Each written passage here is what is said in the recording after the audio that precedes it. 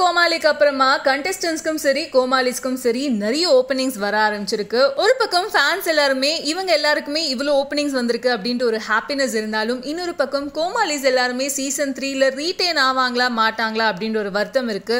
ஏன்னா இவ்வளோ project sign பண்ணியிருக்காங்க அந்த ஒர்க்ல பிஸியா இருப்பாங்க. ஸோ சீசன் த்ரீல வர மாட்டாங்களோ அப்படின்ற ஒரு பயம் இருந்தாலுமே ஒரு ஹாப்பினஸ் இன்னொரு பக்கம் இருக்கு. அந்த வகையில் கண்டெஸ்டன்ஸ் அண்ட் கோமாலிஸ் எந்தெந்த ப்ராஜெக்ட்ஸ்லாம் அவங்க சைன் அப் பண்ணியிருக்காங்க அப்படின்னு தான் இந்த வீடியோவில் பார்க்க போகிறோம் புகழ் அவர்கள் சீசன் ஒன்னும் சரி சீசன் டூவும் சரி பிரம்மாண்டமான ஒரு ஃபேன் ஃபாலோயிங் அவங்களுக்கு கிடைச்சிருக்கு. சிரிப்படா கேபி வைக்கு அப்புறமா குக் வித் கோமாளியில் தான் இவருக்கு செம்மையான ஃபேன் ஃபாலோயிங் வந்தது. அண்ட் அதுக்கப்புறமா இப்போ நிறைய மூவி ப்ராஜெக்ட்ஸில் சைன் பண்ணியிருக்காங்க. குறிப்பாக பல பேர் ரொம்பவே ஹாப்பியாக இருக்கிற ஒரு விஷயம் என்ன அப்படின்னு பார்த்தீங்கன்னா அஸ்வின் அண்ட் புகழ் அவர்கள் என்ன சொல்ல போகிறாய் அப்படின்ட்டு ஒரு ப்ராஜெக்ட்ல ஒன்னா நடிக்க போறாங்க. அண்ட் அந்த மூவியை பார்க்கறதுக்கு ரொம்பவே எக்ஸைட்மெண்ட்டோட காத்துட்டு இருக்காங்க. இதை தவிர்த்து குரு சபாபதி அப்படின்னு சொல்லிட்டு சந்தானம் அவர்களோட சேர்ந்து நடிக்கிறாங்க. விஜய் சேதுபதி அவர்களோட ஃபார்ட்டி சிக்ஸ்த் ஃபிலிமில் விஜய் சேதுபதி அவர்களோட சேர்ந்து இவர் நடிக்கிறாரு. அந்த மூவி ஃபன்லாம் பார்த்துருப்போம். குறிப்பா விஜய் சேதுபதி அண்ட் புகழ் அவர்கள் ரெண்டு பேரும் பைக்ல ரைட் பண்ற வீடியோஸ்லாம் பார்த்துருப்போம். அண்ட் ஷூட்டிங் ஸ்பாட்ல எடுத்துக்கிட்ட வீடியோஸும் பார்த்துருப்போம். ஸோ அந்த படத்துக்காகவும் ரொம்பவே ஈகரா காத்துட்டு இருக்காங்க. அண்ட் அதுக்கப்புறமா குறிப்பா வலிமை படத்துல தல அஜித் அவர்களோட சேர்ந்து புகழ் அவர்கள் ரொம்பவே ஒரு முக்கியமான கேரக்டர் நடிக்கிறாரு அப்படின்னு சொல்லப்படுது. அண்ட் இது மட்டும் இல்லாம இன்னும் நிறைய ப்ராஜெக்ட்ஸ்ல சைன் அப் பண்ணிருக்காங்க. அண்ட் ஷோஸ்லயும் அடிக்கடி வந்துட்டு இருக்காங்க. ரொம்பவே ஒரு பிஸியான பர்சன் புகழ் புகழவர்கள் இருக்காங்க.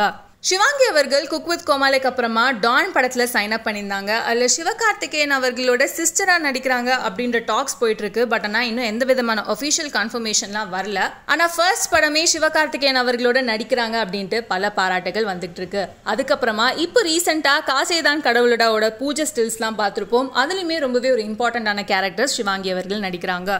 ஒரு பக்கம் அவங்களோட சிங்கிங் டேலண்ட்ஸ்க்காக ஆல்பம்ஸில் பாடுறதுலேருந்து மூவிஸில் பாடுறதுலேருந்து ஒரு பக்கம் போயிட்டு இருந்தாலும் ஆக்டிங் ஸ்கில்ஸ்லாம் வந்து கொஞ்சம் கொஞ்சமா வெளியில வருது. ஸோ டான் அண்ட் காசேதான் கடவுளடாக்காக ரொம்பவே ஈகரா எல்லாருமே காத்துட்டு இருக்காங்க. அஸ்வின் அவர்கள் தமிழ் சினி இண்டஸ்ட்ரியில ரொம்ப வருஷங்கள்ல இருக்காங்க அப்படின்னு நம்ம எல்லாருக்குமே தெரியும். என்னதான் நிறைய ஷார்ட் ஃபிலிம்ஸ் ஆல்பம்ஸ் அப்படின்லாம் பண்ணியிருந்தாலும் அவருக்கு ஒரு பெரிய பிரேக் த்ரூ கிடைச்சதில்ல. அந்த வகையில அவரோட ஃபர்ஸ்ட் தமிழ் டெபியூ அதாவது என்ன சொல்ல போகிறாய் படத்துல லீடா நடிக்கிறாரு. அண்ட் அஃப்கோர்ஸ் எல்லாரோட ஃபேவரட் பேரான புகழன் அஸ்வின் அவர்கள் ஒன்னா நடிக்கிறாங்க. என்ன சொல்ல போகிறாய்க்கு அப்புறமா நிறைய படங்களோட கதைகள்லாம் கேட்டுட்டு இருக்காங்க. நிறைய ஸ்கிரீன் டெஸ்ட்லாம் பண்ணிட்டு இருக்காங்க. கூடி சீக்கிரமா அடுத்த அனௌன்ஸ்மெண்ட்டும் வரும் அப்படின்ட்டு சமீபத்தில் நம்மளோட இன்டர்வியூலையுமே ஷேர் பண்ணியிருந்தாங்க.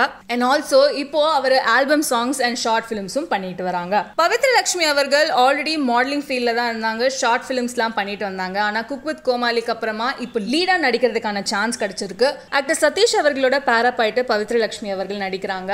அண்ட் இப்போ பேண்டமிக்லாம் முடிஞ்சு இப்போ தான் ஷூட்டிங் ஆரம்பிச்சிருக்கு. இந்த ஷூட்டிங்ல நடந்த ஃபன்லாம் சமீபத்தில் ஷேர் பண்ணியிருந்தாங்க. குறிப்பாக கேரவன்ல சாப்பிட்ட டைம்லலாம் வந்து சதீஷ் அவர் பவித்ர லட்சுமியை எவ்வளவு தூரம் கலாய்க்கிறாங்க அப்படின்றலாம் அந்த ஃபன்லாம் பார்க்கறதுக்கு ரொம்பவே சூப்பரா இருந்தது அதாவது நான் பைத்தியம் வாயில தான் சொன்னேன் நம்ம அங்க ஆக்சுவல்ல கன்ஃபார்ம் பண்ணிட்டு இருக்காங்க தனியா Okay, ready, ready. Take.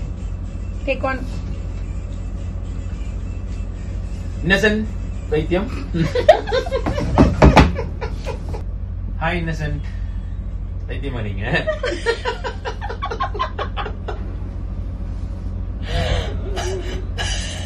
Darsha Gupta அவர்கள் மாடலிங் இண்டஸ்ட்ரியிலேருந்து வந்தாங்க அப்படின்னு நம்ம எல்லாருக்குமே தெரியும். அண்ட் அஃப்கோர்ஸ் அவங்க சீரியல்லாம் நடிச்சிட்டு இருந்தாங்க. குக் வித் கோமாலிக்கு அப்புறமா இப்போ ருத்ர தாண்டவம் அப்படின்ற ஒரு படத்தில் லீட் கேரக்டரில் நடிக்கிறாங்க. ஜி மோகன் அண்ட் ரிஷி அவர்களோட அடுத்த படைப்பு அதாவது திரௌபதிக்கு அப்புறமா அடுத்த படைப்பில் இவங்க லீட் கேரக்டர் நடிக்கிறாங்க. அண்ட் கண்டிப்பாக இந்த படத்தை பார்க்கறதுக்கு பல பேர் எதிர்பார்த்து காத்துட்டு இருக்காங்க. ஷகிலா அவர்கள் அவங்களோட மூவிஸ் அப்படின்ட்டு இருந்தாலும் இப்போ ப்ரொடக்ஷன் சைடில் இறங்கியிருக்காங்க.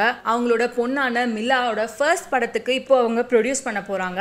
அண்ட் அதுக்கப்புறமா ஒரு ரியாலிட்டி ஷோல இப்போ அவங்க ஒரு ஜட்ஜா வந்திருக்காங்க. குக் வித் கோமாலிக்கு அப்புறமா ஷக்கீலா அவர்களோட வேற சில பரிமாற்றம்லாம் பார்க்க முடியும் அப்படின்னு தான் தெரிய வருது. பாலா அவர்கள் நிறைய ப்ராஜெக்ட் சைன் அப் பண்ணியிருக்காங்க. ஆனா எந்த விதமான ஒஃபிஷியல் கன்ஃபர்மேஷனும் வரல. அண்ட் அது மட்டும் இல்லாம ஒரு சில ஸ்கிரீன் டெஸ்டும் போய்கிட்டு இருக்கு அப்படின்னும் சொல்லப்படுது. கூடி சீக்கிரமா பாலா அவர்கள் சைட்ல இருந்து ஒரு ஒஃபிஷியல் கன்ஃபர்மேஷன் வரும் அப்படின்ட்டு எதிர்பார்க்கப்படுது. சரத் அவர்கள் இப்போ Mr and Mrs Chinnathirai and ஒரு சில ரியாலிட்டி ஷோஸ்ல பிஸியா இருந்தாலும் அவர் கதை கேட்டுட்டு இருக்காரு அப்படின்னு அப்படின்னும் சொல்லப்படுது. கரெக்டான கதைக்களம் வந்தா கண்டிப்பா சரத் அவர்களோட அபிஷியல் கன்ஃபர்மேஷனும் கூடி சீக்கிரமா எதிர்பார்க்கலாம். தீபா அவர்கள் ஆல்ரெடி மூவிஸ்ல நடிச்சிட்டு இருந்தாங்க அண்ட் ஆல்சோ சீரியல் நடிச்சிட்டு இருந்தாங்க. குக் வித் கோமாளிக்கு அப்புறமா ஒரு பெரிய ஓப்பனிங்கா இருக்க போறது சிவகார்த்திகேயன் அவர்களோட டாக்டர் படம் தான். இதுல ரொம்பவே ஒரு ப்ரிடாமினன்ட் ரோல் நடிக்கிறாங்க அப்படின்னு சொல்லப்படுது. ஸோ இந்த படத்துக்காகவும் நிறைய பேர் எதிர்பார்த்து காத்துக்கிட்டு இருக்காங்க. மணிமேகலை அவர்கள் ஆங்கரிங்ல இருந்தாங்க அப்படின்னு நம்ம எல்லாருக்குமே தெரியும். ஆனா குக் வித் கோமாளியில கோமாளியம் மாறினதுக்கு அப்புறமா அவங்களுக்கு ஆங்கரிங் இல்லையே அப்படின்னு சொல்லிட்டு அந்த வருத்தத்தை வந்து அடிக்கடி ரக்ஷன் மேல காமிச்சிருக்காங்க. அது என்னதான் அவங்க காமெடியா காட்டியிருந்தாலுமே